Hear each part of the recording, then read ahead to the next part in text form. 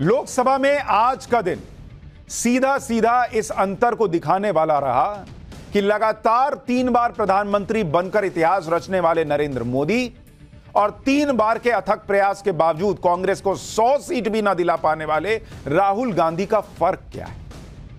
राहुल गांधी जब नेता विपक्ष बने थे तो लोगों ने सोचा कि भाई पहली बार राहुल गांधी बड़ी ज़िम्मेदारी ले रहे हैं। तो कुछ गंभीरता दिखाएँगे, कुछ सीरियसनेस आएगी उनमें। लेकिन राहुल गांधी ने ऐसा सोचने वाले हर शख्स को आज गलत साबित कर दिया। आज राहुल गांधी के पास बड़ा मौका भी था। पहली बार वो नेता विपक्ष के तौर पर संसद में बोल रहे थे। लेकिन उन्होंने संसद में जो किया, उससे तो क्लियर हो गया बॉस, कि राहुल गांधी अपनी पुरानी इमेज से बाहर नहीं निकल पा रहे। क्योंकि आज उन्होंने संसद में फिर वही किया, जो वो पहले भी कर चुके हैं।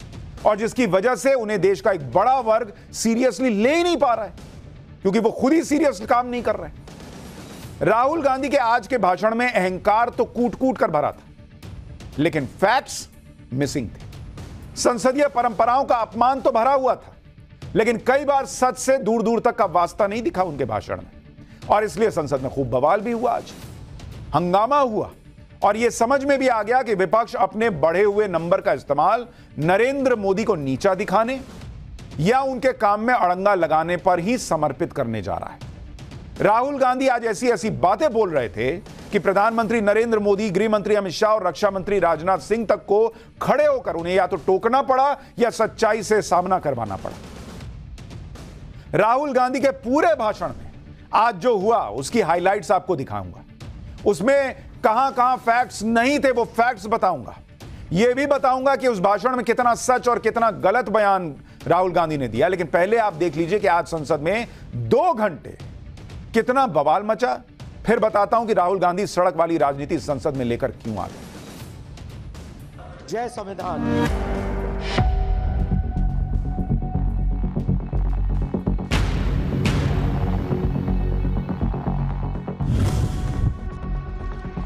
over refuge. Okay? Sir Shiv ji की फ़ोटो नहीं दिखा सकते सर एक मिनट मान्य सदस्य सर शिव जी की फ़ोटो मना है एक- सर एक एक मिनट एक मिनट एक मिनट।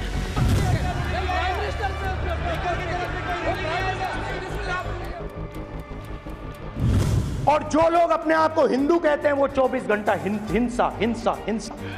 नफरत नफरत नफरत। असत्य सत्य असत्य। करोड़ों लोग अपने आप को गर्व से हिंदू कहते हैं। सभी लोग हिंसा की बात करते हैं। ये विषय बहुत गंभीर है। पूरे हिंदू समाज को हिंसक कहना ये गंभीर विषय है। सर इनको माफ़ी मांगनी चाहिए। आर्टिकल 25 जो है संविधान और ये देश संविधान से चलता है। ये पार्लियामेंट संविधान से चलता है सर। माफ़ी इनको माफ़ी मांगनी। चाहिए। अयोध्या से शुरू करता हूँ। सर नमस्कार। अयोध्या ने आपको मैसेज भेजा। तो उनको ये सत्यापन नहीं करते अपने स्टेटमेंट का तो उनको सदन और देश से और अग्निवीरों से माफ़ी मांगनी चाहिए माननीय। इतना हल्का फुल्का कैसे स्टेटमेंट दे सकता है लीडर ऑफ़ ऑपोजिशन लोकतंत्र ने और संविधान ने मुझे सिखाया है कि मुझे विपक्ष के नेता को गंभीरता से लेना चाहिए।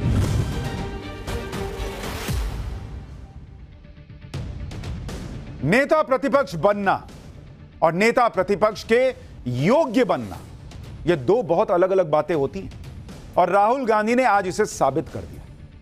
आज राहुल गांधी के पूरे भाषण से उनकी वही राजनीति एक बार फिर दिखी, जिस राजनीति में उन पर अराजकता, गलत बयानी और भ्रम से एक अलग नैरेटिव बनाने की कोशिश करने के आरोप लगते रहे। हालाँकि यह नैरेटिव कई बार रिजेक्ट हो चुका है, लेकिन इस बार चुनाव में यह हथकंडा थोड़ा बहुत चल गया तो राहुल गांधी को लग रहा है कि इसी के सहारे वो आगे की राजनीति कर सकते हैं। लेकिन बॉस दिक्कत यह है कि राहुल गांधी पिछले 10-12 साल से सिर्फ़ खुद की एक बोल्ड और निडर इमेज बनाने की कोशिश में इतना डूबे हैं कि वो एक ही गलती बार बार कर रहे हैं। क्योंकि अगर आप राहुल गांधी के भाषण का पूरा निचोड़ देखेंगे ना तो उसमें कुछ भी नया नहीं है। मतलब कई बार तो ऐसा लगा कि वो सदन में नहीं, किसी चुनावी रैली में बोल रहे हैं। स्पीकर पर की तरफ़ देखकर बोलने के बजाय कई बार पीछे देखकर बात कर रहे हैं भाई। जबकि नियम है कि आप स्पीकर को संबोधित कीजिएगा। वो पीछे देख के बोलने लग जा रहे थे। नेता विपक्ष के तौर पर उनकी स्पीच में सीरियसनेस कम, स्टंटबाजी ज़्यादा दिख रही थी। और इस पूरे भाषण को सुनकर ऐसा लगा कि राहुल गांधी खुद की ब्रांडिंग कर रहे थे। वो ये दिखाने की कोशिश कर रहे थे कि उनके अंदर का एंग्री मैन अभी ज़िंदा है। वही एकलौते नेता हैं जो नरेंद्र मोदी से अकेले लड़ सकते हैं। और यह साबित करने का प्रयास वो पिछले 10-12 साल से कर रहे हैं। कभी अध्यादेश अपनी सरकार में फाड़कर उनको दिखाना होता है कि मैं तो क्रांतिकारी हूँ। कभी बोलते मैं बोलूँगा तो भूकंप आ जाएगा। और अब भी वही बात। कि डरना नहीं है, डरना नहीं है। 2013 में आप देखिए ना, उनको याद होगा आपको कि अध्यादेश फाड़ दिए थे अपनी सरकार में। 2016 में बोले, संसद में भूकंप आ जाएगा। अध्यादेश फाड़ने की बात कही थी। आज भी राहुल गांधी का यही नैरेटिव था कि वो अकेले सब संभाल सकते हैं। राहुल गांधी ने कैसे डरो मत का नैरेटिव बेचा? एक बार सुनिए, आप याद कीजिए कि कैसे वो अपनी छवि चमकाने में लगे हुए पिछले 12 साल से। उसके बाद आगे की बात बताता हूँ। देश अहिंसा का देश है। ये देश डर का देश नहीं है। तो हमारे सारे के सारे महापुरुषों ने अहिंसा की बात की, डर मिटाने की बात की। डरो मत, डराओ मत। डरो मत, डराओ मत। और दूसरी तरफ़ शिव जी कहते हैं, डरो मत, डराओ मत। दरअसल राहुल गांधी की हालत उस छात्र की तरह है जो गाय पर निबंध रट कर आए और चाहे जो पूछ लो क्वेश्चन पेपर में। वो निबंध तो गाय पर ही लिखे। वैसे ही राहुल गांधी की गाड़ी अडानी, अंबानी और डरो मत से आगे ही नहीं बढ़ती। बोलना कुछ हो, वो गाड़ी उसी रास्ते पर घुमा कर ले आते, उसी ट्रैक पर ले आते। और इसी चक्कर में कई बार गलती कर बैठते। आज उन्होंने अपनी स्पीच में बीजेपी पर अटैक करने के चक्कर में कि डरो मत डरो मत के चक्कर में, या बीजेपी डराती है डराती है के चक्कर में उन्होंने हिंदुओं को लेकर ऐसा कह दिया जिस पर बड़ा बवाल हो गया और उन्हें कहना नहीं चाहिए राहुल गांधी ने कह दिया कि जो लोग अपने आप को हिंदू कहते हैं, वो 24 घंटे हिंसा की बात करते हैं। इस पर संसद में हंगामा हो गया लोकसभा में। बीजेपी की तरफ़ से फ़ौरन राहुल गांधी से माफ़ी मांगने की बात होने लगी। कहा गया कि राहुल गांधी पूरे हिंदू समाज को हिंसक कैसे कह सकते हैं भाई? सुनिए राहुल गांधी का यह बयान, फिर बताता हूँ कि राहुल गांधी के हिंदुओं पर इस बयान को सुनते ही पीएम मोदी ने क्या किया? शिव जी कहते हैं, डरो मत, डराओ मत। अभय मुद्रा दिखाते हैं। अहिंसा की बात करते हैं, त्रिशूल को ज़मीन में गाड़ देते हैं। और जो लोग अपने आप को हिंदू कहते हैं, वो 24 घंटा हिंसा हिंसा हिंसा। नफरत नफरत नफरत। असत्य, सत्य, असत्य। हिंदू धर्म में साफ़ लिखा है, सत्य के साथ खड़ा होना चाहिए। सत्य से पीछे नहीं हटना चाहिए। सत्य से नहीं डरना चाहिए। राहुल गांधी के इस बयान के बाद लोकसभा में खूब काफ़ी देर तक हंगामा हुआ। खुद पीएम मोदी खड़े हुए। और राहुल गांधी के बयान की उन्होंने आलोचना की। राहुल गांधी ने हिंदू समाज को हिंसक कहा। पीएम मोदी ने इसको बताया, इस बात को उठाया और इसे बेहद गंभीर आरोप बताया, लगाते हुए कहा कि जिस तरह से पूरे हिंदू समाज को हिंसक कहा जा रहा है, वो गंभीर विषय है। एक बार प्रधानमंत्री मोदी को सुनिए। फिर राहुल गांधी ने इसके बाद पीएम मोदी पर क्या कहा वो भी सुनवाता हूँ। ये विषय बहुत गंभीर है। पूरे हिंदू समाज को हिंसक कहना ये गंभीर विषय है। नरेंद्र मोदी ऐसे खड़े होकर कभी बोलते नहीं है किसी के भाषण के बीच आपने नहीं देखा होगा लेकिन आज बोले वो। कि आप कैसे ऐसे हिंदुओं के लिए बोल रहे हैं? इतना ही नहीं राहुल गांधी ने बात ही ऐसी बोली कि लोकसभा स्पीकर को भी उन्हें टोकना पड़ा। लोकसभा स्पीकर ओम बिरला ने राहुल गांधी से कहा कि बोलते समय ध्यान रखना चाहिए कि किसी की भावना को ठेस ना पहुँचे। एक बार स्पीकर को सुनिए फिर सुनाऊँगा कि कैसे राहुल गांधी ने स्पीकर की भी बात को अनसुना कर दिया मान्य आप प्रतिपक्ष के नेता हैं किसी की भावनाओं को टेस्ट नहीं पहुँचे। सर मुझे बोलने। ध्यान रखना चाहिए।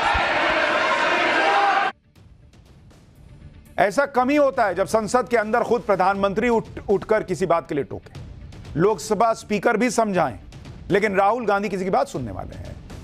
मैंने कहा ना, उनके भाषण में अहंकार कूट कूट के भरा हुआ था।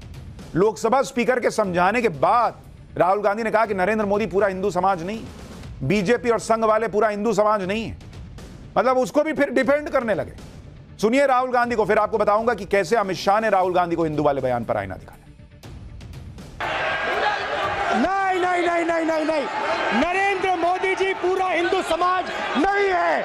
बीजेपी पूरा हिंदू समाज नहीं है। आरएसएस पूरा हिंदू समाज नहीं है।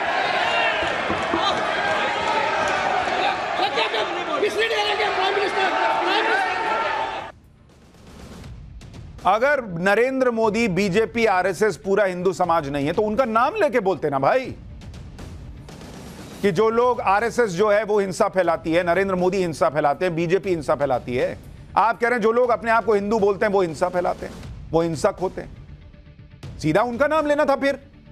हिंदुओं को हिंसक बताकर राहुल गांधी फंसते दिखे तो कहने लगे कि पीएम मोदी या बीजेपी या संघ पूरा हिंदू समाज नहीं है।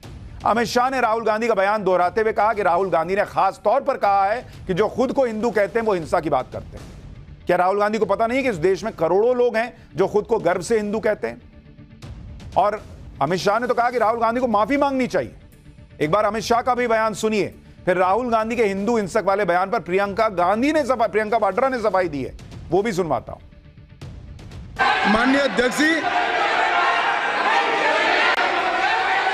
शोर शराबा कर कर इतने बड़े वाक्या को छिपाया नहीं जा सकता। विपक्ष के नेताजी ने कैटेगोरिकली कहा है कि जो अपने आप को हिंदू कहते हैं, वो हिंसा करते हैं। मैं फिर से रिपीट करना चाहता हूँ। उनका वाक्य था, जो अपने आप को हिंदू कहते हैं, वो हिंसा की बात करते हैं, हिंसा करते हैं। मान्यवर, इस देश में शायद इनको मालूम नहीं है करोड़ों लोग अपने आप को गर्व से हिंदू कहते हैं। क्या वो सभी लोग हिंसा की बात करते हैं? हिंसा करते हैं। हिंसा की भावना को, हिंसा की भावना को किसी धर्म के साथ जोड़ना और ये सदन में और संवैधानिक पद पर बैठे हुए व्यक्ति ने, मैं मानता हूँ मान्यवर, उन्होंने इसकी माफ़ी मांगनी चाहिए। राहुल गांधी माफ़ी मांगने वाले थे। माफ़ी नहीं मांगे वो। जब राहुल गांधी संसद में खड़े होकर इस तरह की बातें करते हैं, जिस पर बीजेपी सीधे सीधे हिंदू विरोधी होने का आरोप लगाती है तो आपको यह भी ध्यान रखना चाहिए कि राहुल गांधी की वही कांग्रेस है जिसने राम मंदिर की प्राण प्रतिष्ठा में जाने से इनकार कर दिया था। यह राहुल गांधी की वही कांग्रेस है जिसके तमिलनाडु में सहयोगी दल डीएमके के नेताओं ने सनातन को डेंगू मलेरिया तक बताया, लेकिन उन्होंने गठबंधन नहीं तोड़ा। यह राहुल गांधी की वही कांग्रेस है जिसकी सरकारों में भगवान राम के अस्तित्व को ही नकारने वाली बातें की गई थी। यह राहुल गांधी की वही कांग्रेस है जिसके नेताओं ने सत्ता में रहते हुए हिंदू आतंकवाद, भगवा आतंकवाद की थ्योरी बनाई थी। ट्रैक रिकॉर्ड है बॉस, इसलिए लोग सवाल पूछ रहे हैं और माफ़ी मांगने के लिए कह रहे हैं। अगर राहुल गांधी ये बात संसद में खड़े होकर कह देते कि जो अपने को हिंदू कहते हैं, वो हिंसा फैलाते हैं तो फिर राहुल गांधी को यह भी समझना होगा कि उन्हें जो वोट मिला है ना, उसमें हिंदू का भी वोट है। क्या वो हिंदू वोटर्स को भी हिंसक बता रहे हैं क्या? और अगर वो बीजेपी के बारे में ऐसा बोल रहे हैं तो क्या बीजेपी को मिले? सारे हिंदू वोटर राहुल गांधी के हिसाब से हिंसक हैं क्या? क्योंकि सीएसडीएस के पोस्ट पोल सर्वे के मुताबिक, अगर आप देखिएगा, या जो आंकड़ा है कि किसको कितना वोट मिला 2024 का चुनाव 2024 कांग्रेस को वोट कांग्रेस को वोट मिले टोटल वोट तेरह करोड़ सड़सठ लाख। तेरह करोड़ सड़सठ लाख वोट मिले कांग्रेस को। इसमें भी तो करोड़ों हिंदू हैं, बॉस। ठीक है, मुसलमानों ने भी आपको भर भर के वोट दिया होगा। फिर भी कई करोड़ हिंदू होंगे। अगर आप सारे हिंदुओं के लिए कह रहे हैं तो सवाल उठेगा कि क्या इसमें जो हिंदू आपको वोट कर रहे हैं, क्या आप उनको भी हिंसक मानते हैं? और अगर आप सारे हिंदुओं के लिए नहीं बोल रहे, आप कह रहे हैं कि बीजेपी के लोग और बीजेपी से जुड़े हुए लोग तो बीजेपी को तेईस करोड़ तेईस करोड़ उनसठ लाख वोट मिले तेईस करोड़ उनसठ लाख। और बीजेपी को तो भर भर के मुसलमान ने वोट नहीं दिए इसमें तो बड़ी संख्या में हिंदू हैं। तो बीजेपी के लिए जिस हिंदू ने वोट कर दिया क्या वो हिंसक है? करोड़ों हिंदू जो बीजेपी को सपोर्ट किए वोट किए वो क्या हिंसक हो गए? कोई पूछे राहुल गांधी से? लोकसभा में हिंदुओं को हिंसा से जोड़ने वाला बयान कांग्रेस को भारी पड़ सकता है। राहुल गांधी तो जोश जोश में बोल गए।